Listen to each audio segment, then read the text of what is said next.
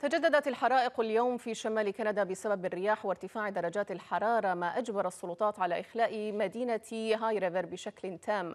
وشمل ذلك عناصر الإطفاء والعمال الأساسيين وأمرت الحكومة في المنطقة الشمالية الغربية جميع السكان في هذه المدينة التي يقيم فيها أربعة آلاف شخص بالتوجه إلى المطار وانتظار تعليمات جديدة. هذا وتم إجلاء ثلثي سكان الشمال الكندي المترامي الأطراف والبالغ عددهم 41 ألف نسمة إلى المقاطعات المجاورة. وتشهد كندا أسوأ موسم لحرائق الغابات في تاريخها خصوصا بسبب جفاف يسود قسما كبيرا من أراضيها.